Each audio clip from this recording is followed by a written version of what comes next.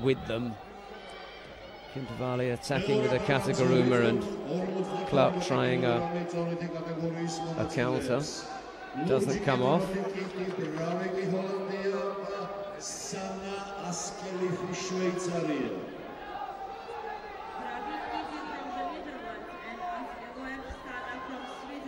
Important fight here. Ooh. Two nice attacks from Clark.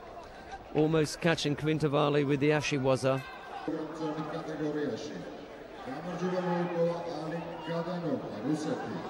Clark needs to get a head up.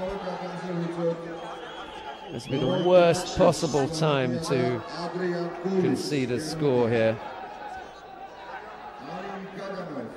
There'll be no way back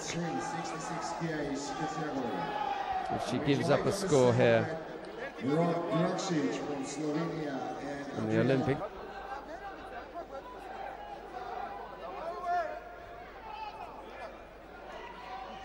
bit slow to put the golden score up, but the um, the scorers are up with the game now, and we're into the golden score period.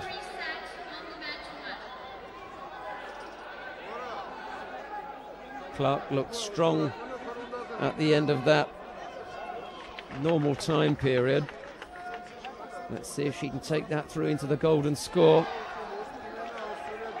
Little feint, and then the attempted Tani Otoshi doesn't come off by Clark.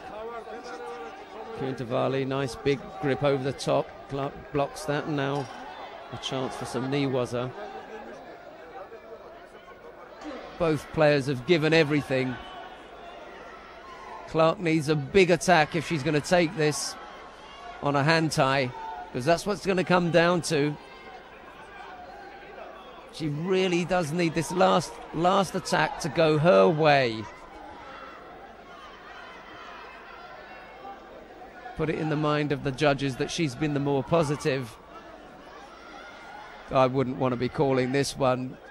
Last few seconds.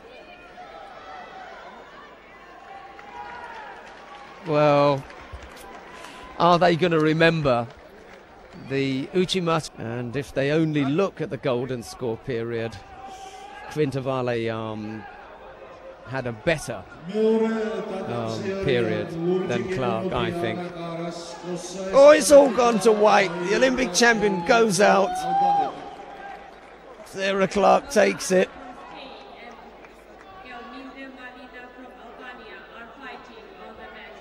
And Quintavalle realizes that that's it. Yeah, there's no way back. There'll be no repechage for her.